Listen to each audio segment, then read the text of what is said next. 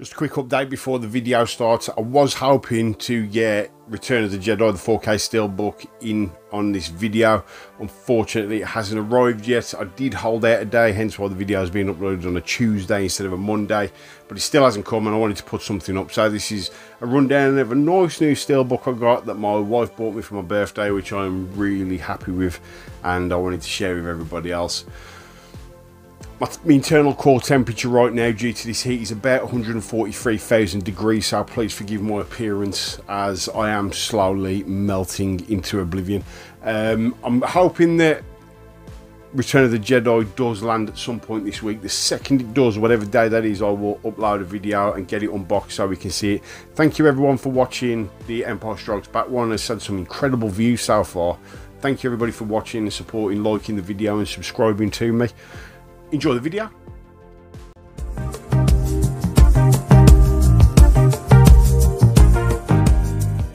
This is the case. The case itself is stunning. This blue, this blue effect that's been set. I remember the original collector's edition of the movies, and it was in a green. It was it was the same layout, same imagery, but it was green and it was in a cardboard sleeve with individual plastic cases. The steelbook version, they've gone down the route of having this blue hue, much like the sort of blue colouring that you see in the Aliens movie in particular. Absolutely beautiful. We've got sort of like this space here with some stars in the background where the title sits, and then from bottom to top, we've got sort of like a like a timeline of xenomorphs. So we start off with the uh, space jockey, the engineer. We move on to the egg Facehugger, Xenomorph, the Deacon from Prometheus, the Newborn from Resurrection, another Xenomorph, and then of course the Big Mama, the Alien Queen at the top. So it's sort of like an evolutionary sort of line up there. Really nice images chosen. Very straightforward. Good pictures and there's the effect now, and I one of these two may be the Covenant Xenomorph, but it just highlights every aspect of the movies, like a life cycle, which is obviously something that's really important to the aliens, having that life cycle, and it's sort of like a a timeline of how they exist. Spine, pretty straightforward, nice story background behind the title, and then on the back We've got like some lens flare, which looks like there should be a sun somewhere around here. Stars and sort of galaxy looking artwork there, and then this blackness before you get to the solitary egg.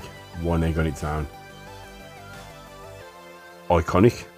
The 40th anniversary uh, Alien, the Steelbook and the Collector's Edition had the egg, just a sole egg with a green glow coming out of the top effective. Now, this is where people start complaining. Inside the case, as you can see, all six discs are on two of these spindles, or whatever you call them. You've got three discs on each side. I'm not a massive fan of that. I think that I don't like stacking discs on top of each other especially multiple discs, you know, two sometimes, okay, you can winch your way through it. There's three on each side here. Discs. Take the discs out. Should get all three out in one hit there. So we can have a look at the inside of the case. That's what you get. So as you can see, it is the the set or the scene from the bridge of the engineer ship in Prometheus. Got like an engineer stasis pod there and another one there, and looks like the beginning of one there. Yeah, it's a great set. Nice set picture. And that's it. And then when we look at the discs, so on Alien, title and side profile of the big chap. Aliens, again with the title and uh, Xenomorph Warrior. Yeah, you notice they've also gone with sort of like the marketing and colour themes you get per movie. So the Alien movie, if we go back to that disc, had a very sort of green effect to it. minimalist. And then Aliens went had this big blue effect, bigger title, sort of more out there, awesome. And then Alien 3 goes for that browny sort of green colour with the dog alien on the side of his mouth popping out again, sticking true to the colour theme that they went with on Alien 3. Moving over, oh, something I need to mention is the fact that this is actually German. I think that's why it was, the price was so quick, so I'm going to talk you through how much this cost. Alien Resurrection with the ready brown colour setup. Prometheus, which is just utterly forgettable, it's just the ship um, landing with some German writing and then Covenant, which is a lot of the poster art that you got when the film came out. It was straightforward text, and then obviously the inkling that everyone got everyone excited that there were xenomorphs in this movie. So yeah, so this, the wife bought me this for my birthday from Amazon. I think she paid about forty pounds for it. Now this, when it was released on Zavvi, was sixty nine ninety nine. That feels high. It's sold out. It's sold out, so people paid it. Unless it was on offer and we've just got the RRP now on the website. But 69.99. Hmm. I think the jury is not out on this. I don't know whether or not 69.99 is worth it. It's part of the Alien franchise. Again, much like the Star Wars and the others, that makes it more collectible. It's got a very strong, established fan base. And getting the opportunity to own all six movies in one collection, like you do in this case, is great. I've watched the first three so far. Really enjoyed seeing them um, on Blu-ray.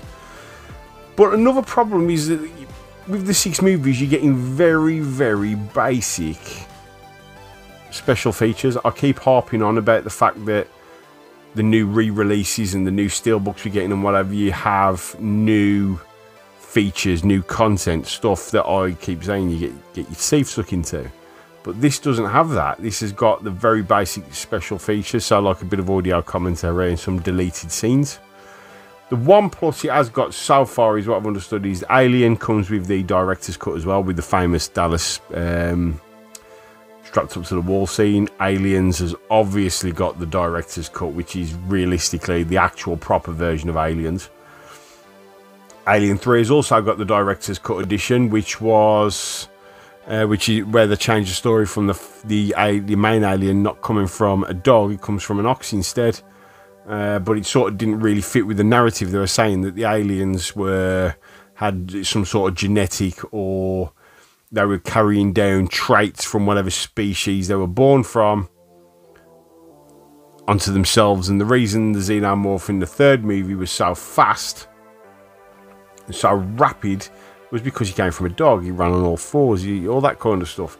So they, they, they removed that. But again, really interesting to watch if you're a fan of the film. So the content you get isn't huge.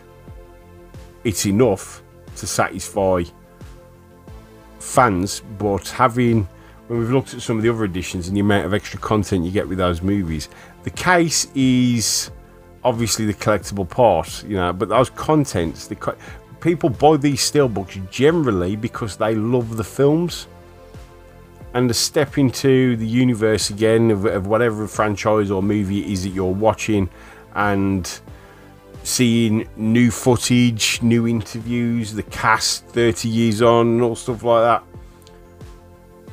is a big selling point, and there's not really a lot included in this. It was released in 2018 and it was 69.99.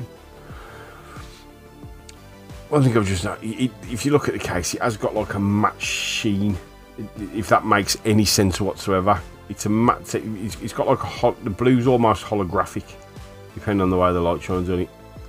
The case is absolutely stunning. But yeah, yeah, I, I, I, I, I'm on the fence about the about the discs and the way it was stored. Maybe if we had like the flat trays for the discs it would be a bit different but I'm supremely grateful to my wife for buying me this this will take pride of place on the wall of steel books and it will be a showstopper people will turn their heads to see this case itself I'm just not sure about the price it was originally sold for well, thank you for watching. I hope you enjoyed the video. Please like, subscribe, and leave me any comments. Tell me what you think, actually. Did you buy this for $69.99? Did you do it? Last but not least, the Hellboy Right Hand of Doom Ceramic Bank. It is August's giveaway prize over on my Instagram page. That's what you get. That's my one.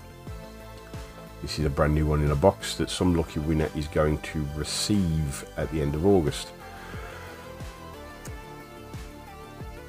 To enter, all you need to do is go over to my Instagram page at Odinson Ant, find the post with this beautiful picture on it, follow the rules said on that post and get yourself entered in. It's a really nice piece, you'll get it sent to you for free, meaning I'll even pay you postage. And it makes a nice addition to any collector's set, even if you're not a Hellboy fan. Easy to identify, and who doesn't need change. So get yourself entered in.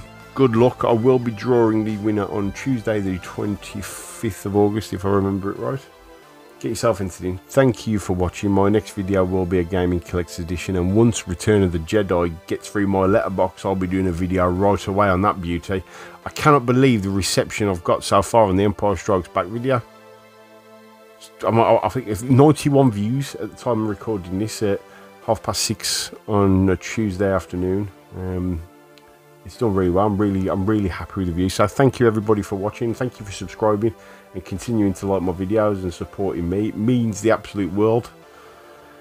And yeah, I'll see you on the next video.